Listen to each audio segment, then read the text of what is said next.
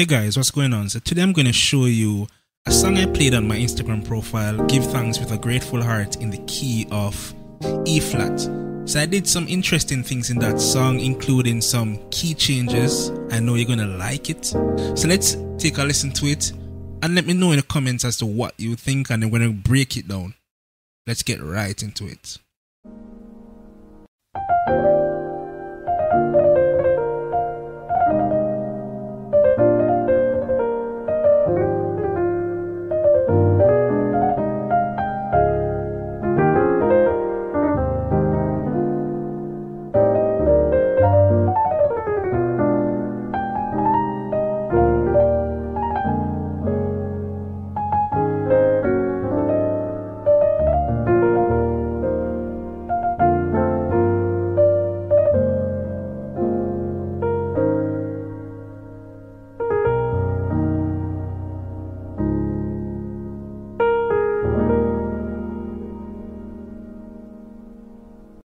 Alright guys, so let's get straight into it now. So I know you like that.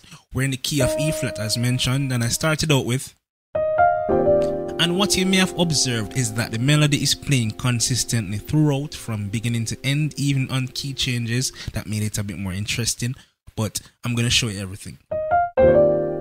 So that's the first chord. Right hand and the left hand. So let me just show you the melody that I did.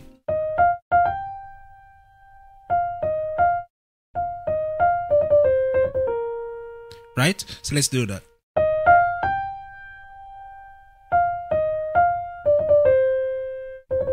So, th- so the melody I'm playing is that. So what I did here, I wanted to get to C. So how can I play some grace note that will take me to C? You could simply play. That's very common, but what I normally do, which has become a very, it has become a part of my playing style. I normally do stuff like this. So this, to get to the C, I started with the tone above the note I want to get to, and my second finger starts it. So that's the D, and then my third finger moves up a semitone right? Then I slide my third finger down a semitone, and then my second finger plays the note I want to get to. So in real time,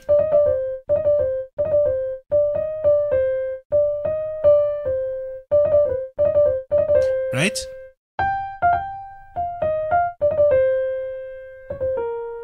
So same thing for the B flat. We want to get to the B flat. So go a tone above the note want to get to, which is C. So the second finger plays the C, and then semitone above that, the third finger plays it, and it slides down, and then we hit the second. So it's basically second, third, slide down, second. Slide down the third, then second.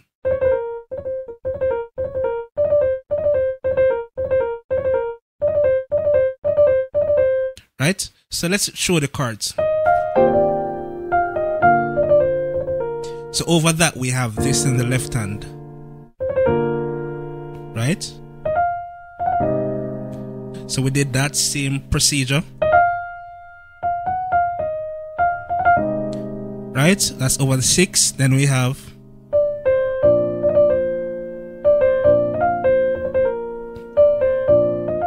I just added that extra flair to it. That's the normal, the normal melody, but we I just modified it a bit.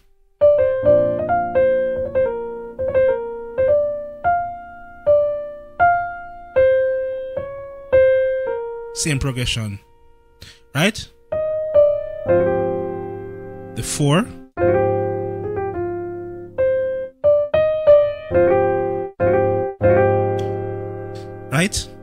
So this is like an additional melody. This is the main melody, but I emphasize this.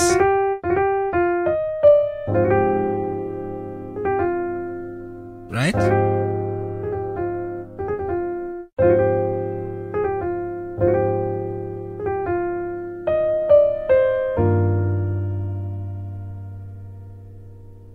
So this is where I went next.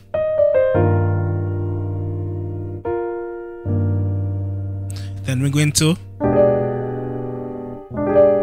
right hand has that.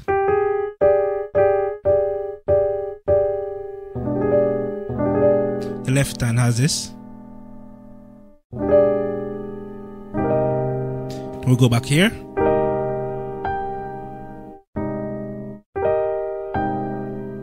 Then, you know, we go to the flat 7.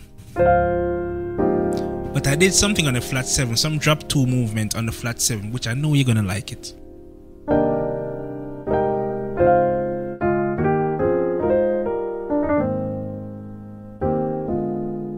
So that's what I did there. So some drop 2s. So on the flat 7, then we have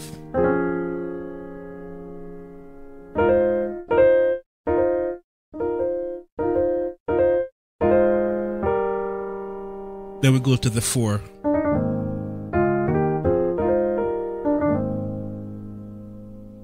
So we have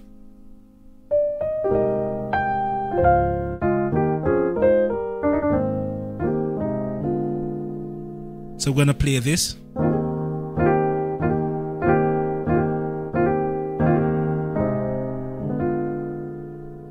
The first one, that's the left hand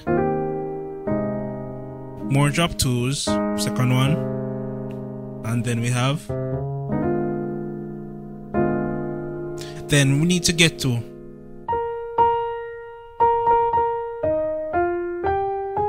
So before we get to that, we need to connect it. We're gonna play some passing chords. You normally do play. But I'm gonna show you a, a fresher way to play that. So right? So we have that. The right hand plays this. The left hand is playing this. So we have that jazzy sound.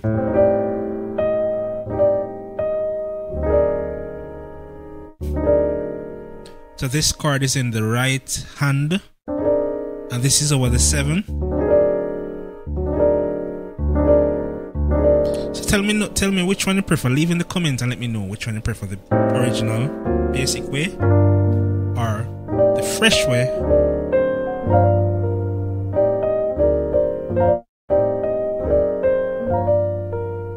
Right? So we have that.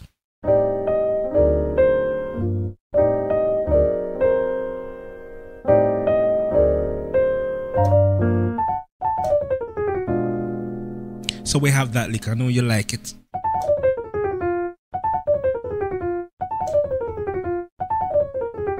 So we're gonna go very slow. So we want to get to this passing chord before we get to the six. Right? So I'm playing a lick.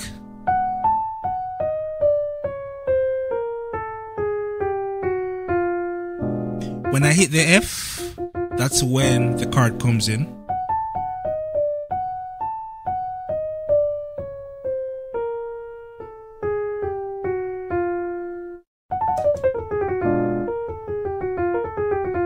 So when I'm at the F, I find when I'm at the B flat, I find it easier when I slide down the third finger.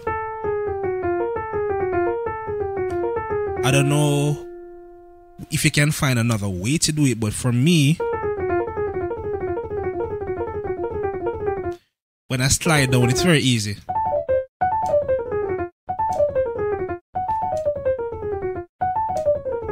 just practice it.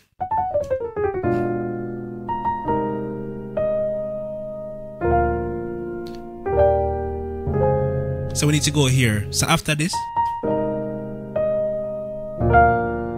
so going to the seven, some open chords.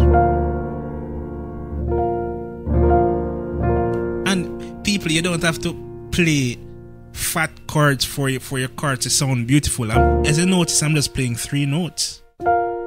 Three, three simple notes, and if you really look at it, it's two notes because these are octaves. So, simple stuff can sound good. It all depends on how you voice it and how you use them.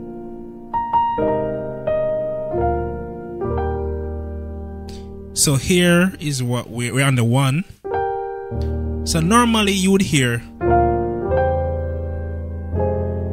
but I didn't want to play that. Right, I'll go to the two. So that's the right hand. And you notice we have the melody going throughout consistently. The left hand. And here's the interesting part because the key changes from E flat to C sharp. The melody remains same. That movement from the the two, the F of E flat, upper semitone takes me to the 4, which is F sharp of C sharp.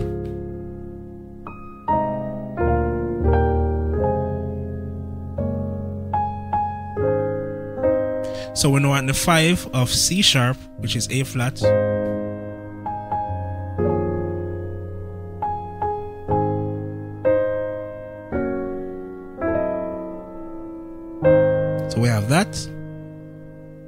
5 right hand, left hand. Then we have this chord. If you want to do that, if you want to do that, so either this or you can add some more notes to make it a bit uglier.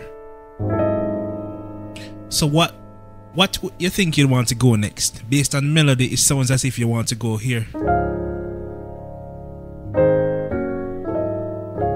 resolve on the C sharp, but we're not doing that. We're gonna change the key again. So, so we're gonna jump to the B flat. And guys, I know you may want you may be wondering how how am I changing keys like that and it sounds as if it flows. But guess what? I break down all of that in my melodic piano, piano course. So if you want to learn how the different keys are connected and how you can change keys like that, you can check out that course and I explain everything as it relates to how to change keys fluently. So we're here.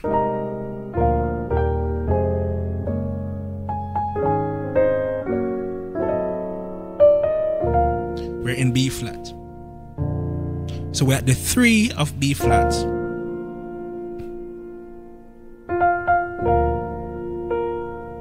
So we're at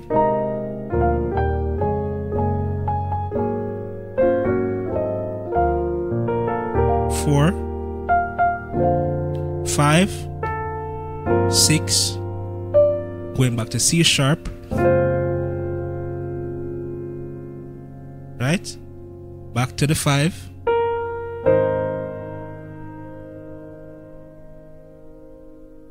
And we're now going to. So it depends on what you want to see this as. You could see this as the the flat 7 of C sharp, or you could see it as the 4 of F sharp, right? So I would say I'm in F sharp now. So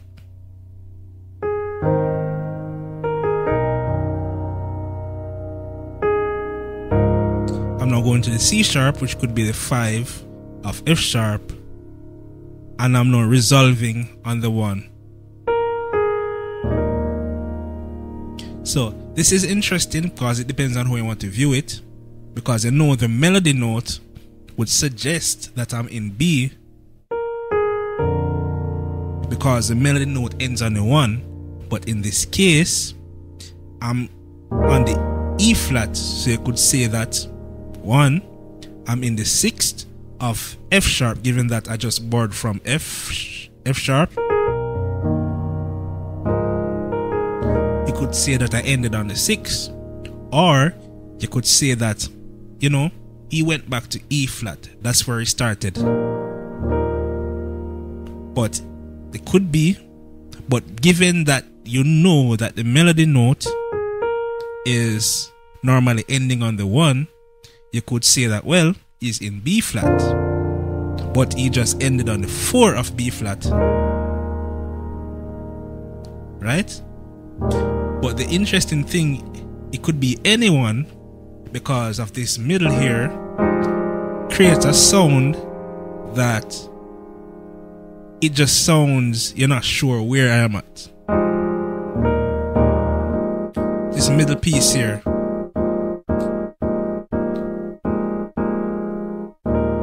So that chord is basically this. And I tend to use a lot of these dissonant chords with dissonant notes in the middle.